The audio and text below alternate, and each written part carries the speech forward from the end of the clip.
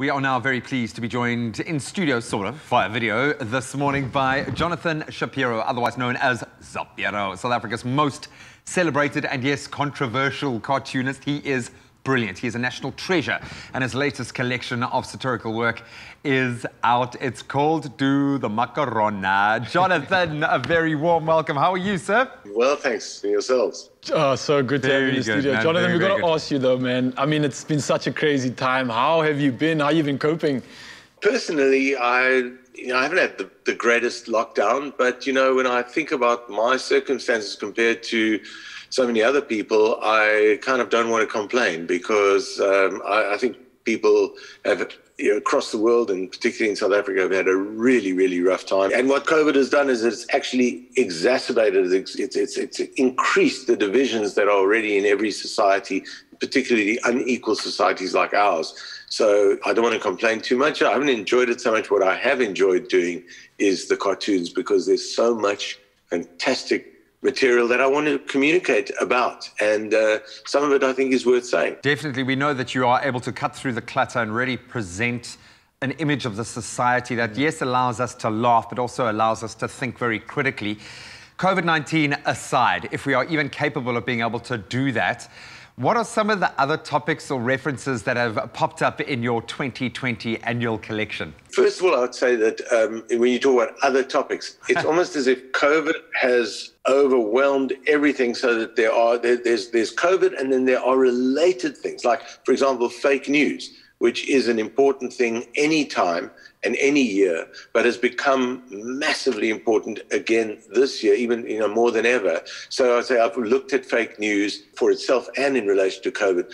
I've looked at corruption as I always do, but of course there's been massive corruption related to COVID. So just generally running from before, there were things like the, the, the Zondo Commission into state capture. I mean, that's been huge. And of course, the two major factions in the ANC, I always say not that the one is so brilliant, but the other one, the Ace Magashule, which still has the kind of Zuma thing. And I've looked at that a lot. I've looked at populist leaders around the world, again, also in relation to COVID. People like Donald Trump, uh, Bolsonaro in, in, in Brazil, Modi in, in India. Uh, I've looked at that and how badly that's affected people across the world. And you've got other places that are interestingly led by women where things have been a lot better. New Zealand among them, and sport comes into it every now and then. Uh, the, the book almost begins with the uh, with our fantastic World Cup win, which seems like so so long ago, does. uh, but it was just a year ago. Jonathan, look, you're mentioning all these, let's call it events, and, and for you as an artist, uh, you're fueled by the external. And if I look at just this past year in 2020, and there's been so much material, there's been so much that's happened, how on earth do you then decide to kind of create a focus and what do you then focus on in order to kind of bring that art to life and create that thought-provoking art that you do? Uh, that, that is very difficult. Um, I used to do six cartoons a week. It was just like one after the other after the other, and it, those, those choices weren't as hard.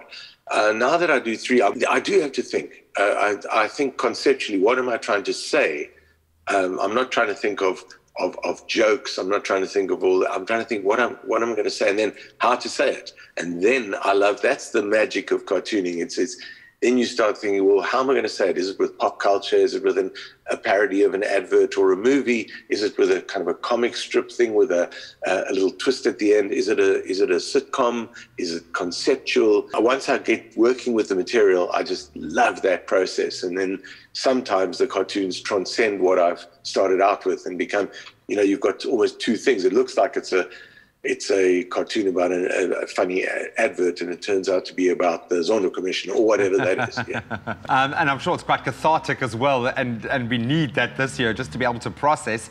Sometimes it might turn itself, or you might lend on a, a famous musical meme that had the whole world gripped. And I, I understand for an introverted artist, you're quite an extrovert when it comes to singing. I'm going to ask you now if you can give us an example of one of the, the pieces, and please get uh, uh, give us a bit of an exploration behind the macorona. Okay, well here we go. This this is the cartoon that I'm talking about, and uh, it is. It, it, it is the, the one that really kind of kicked off the thing uh, uh, for me. I'll talk about it for a second and say that right at the beginning of the uh, the pandemic, we, we, didn't really, I don't think we understood what it was going to be. I, I don't think anyone really across the world knew uh, just what was coming. Uh, there were people who understood what a pandemic would be, and there are a lot of conspiracy theories about those kind of people. People like Bill Gates and Dr. Fauci and uh, Dr. Karim here in South Africa. People say, "Well, how did they know exactly what was going to happen?" And then they start like playing the conspiracy theories. They knew what would happen if a real pandemic would happen. And when we, at the beginning, I was doing cartoons that were about other things, and then they just sort of brought the the the pandemic in as a kind of a theme, like I'd done with SARS and MERS and and and Ebola and other things. But suddenly this became a pandemic, and I knew I had to do something to try and encapsulate the whole thing. You'll notice there are no masks in this one because uh-huh. masks were only mandated later. But I was trying to do right at the beginning in March. What was this all about? So here we go. Give it a and crack. Going viral the macorona. Keep your social distance around about a meter. Don't shake hands, use the elbow or the feet. Avoid big crowds, you should rather be alone. Ay, macorona. Sneeze into your elbow, essential hygiene. If you're symptomatic, maybe self quarantine. It's all gone global from Beijing to Barcelona. Ay, macorona. Clean hands off hand sanitizer. Listen to official medical advisor. Ignore fake news when it mm-hmm. dings on your phone. I'm a corona. Conspiracy, get and religious polemic. It's not God's fury, it's a viral pandemic. I'm a corona. We, we, we don't expect anything less than, yeah. than, controversy from you, my friend, even in a breakfast TV setting. Um, that is quite brilliant. And um, you've made us laugh. And I think ultimately, we as South Africans have learned to laugh at ourselves during the craziest of times. So thank you so much for allowing us to do that, but also for, for just shining a light, an unwavering light on, on areas of our society that really do need to be highlighted and for us to think, as I said earlier, critically about. So um, all the best for this particular one. I'm sure it's going to be as successful as all of your other um, iterations. We really do appreciate your time this morning and all of the effort that you've put into, into um, all of the, the body of work. I, I, meant what I said earlier. You are a national treasure, my friend. Um, so thank you so much for, for sharing this, this time and a bit of um, hip-shaking macorona with us this morning. We really do appreciate it. Great thanks so much for having me. I, I, I enjoyed it. what a legend. Hey, he is a living legend, man. He's a living legend. Oh, but 2020 was a year that has gone down in the history books for sure.